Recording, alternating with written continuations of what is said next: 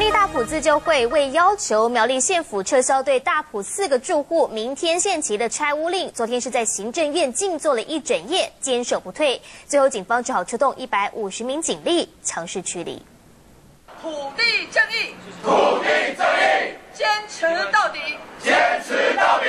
行政院前静坐抗议，从七月二号开始，苗栗大埔自救会坚守不退，要求苗栗县政府撤销拆屋令。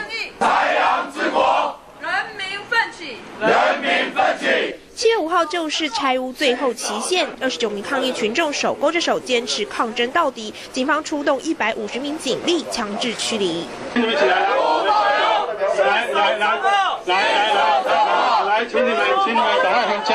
躺在地上不肯离开，警方在凌晨四点上前架走抗议群众，民众激烈反抗，有人甚至紧抓着铁杆不愿屈服。身穿白色衣服的张姓地主更是激动到一度昏厥。